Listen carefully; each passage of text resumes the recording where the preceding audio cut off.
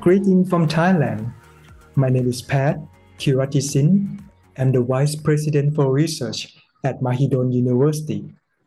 It is my great pleasure to join all of you virtually, and I would like to thank the University of Leeds and the organizing committees for inviting me to join this important event.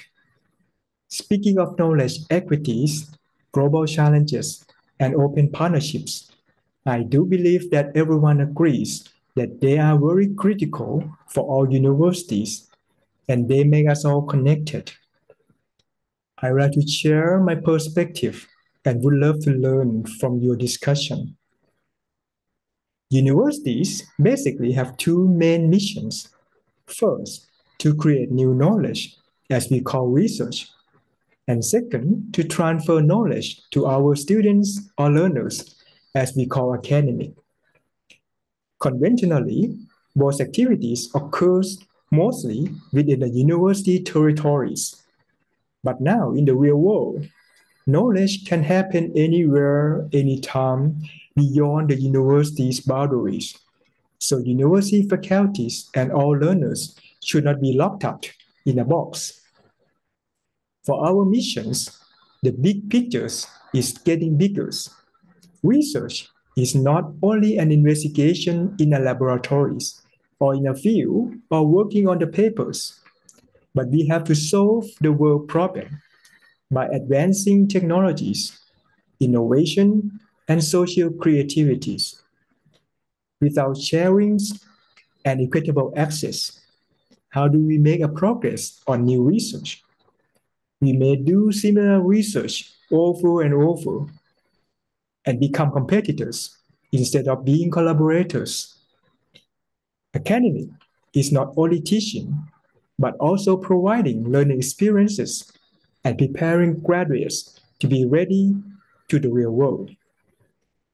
We all know that it is more efficient if our students can explore what they are interested from any resources, not just in the books that we assign them. Now, we even have a greater expectation.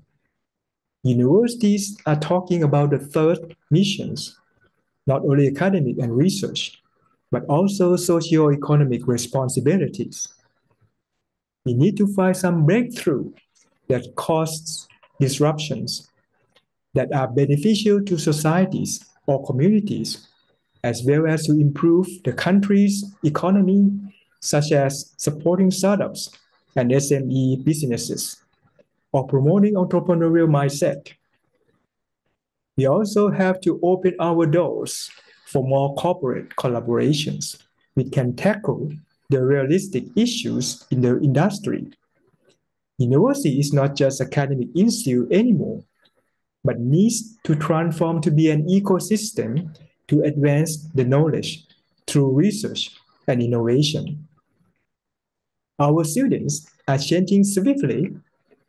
They are likely to learn from social media, where they can gain the social experiences that are not provided in the classroom. The question is, are universities and faculties ready? If not, why? What limited you? So, universities must be more diversified. Universities professors need to transform themselves quickly and continuously in order to prepare our students and the communities to catch up with the world. Therefore, Universities are not only educators, but need to be a coach for the new generations. Sometimes when I talk to our young faculties, that you know you are highly expected to save the world. I told them that you need to be prepared to be like a superman or a superwoman. And I am not a joker. How can we be a superman? if we do not have a wide open airspace to find to go help people. Likewise, universities need to have open sources for knowledge. Given that a large number of knowledge are created from the universities, so should we be limited to access those? In addition, sometimes we need to pay a high price to obtain a piece of information. This could be difficult for middle and lower income countries, or most countries in the global south. The more barriers, the less equities. As we can see that there are lower developments in many parts of the world, reflecting a serious issue of inequalities, including in academia. Sometimes when I see my students playing with the IG, which refers to Instagram for them, and that let them connect to the world. I was thinking that it is a similar things in higher educations. I told them that it reminds me to think about IG as industrial and global connection in which every sectors every partners are very important to move the world forward. This is truly the global challenge. We need to have partners who can complement for what we have and to fulfill for what we don't have. Even a computer has a limited space to store. How can we know everything without a collaborative effort among partners? With open partnerships, we can see more open doors to improve ourselves and to guide our students for their desired futures. So why not? In my quick view, I believe that knowledge equities and open partnerships are related, and that we should allow knowledge to be easily accessible and allow partners to build up the relationship with less barrier. It is like the open and free air space that allows everyone, even if we are not a superhero, to find a point where they can see things clearly and looks for target at the right direction. Knowledge is a foundation on building the futures.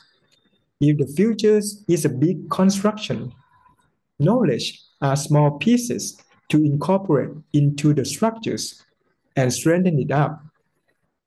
An engineer cannot build the whole building. He would need an architect, an electrician, a plumber, and so on. Limited access to knowledge is like a limitation to find quality materials for better construction. Limited partnerships would not allow us to make a complete building or even make it collapse. Therefore, knowledge equities and open partnerships are important components to make our sustainable futures. Thank you very much for your attention. Thank you.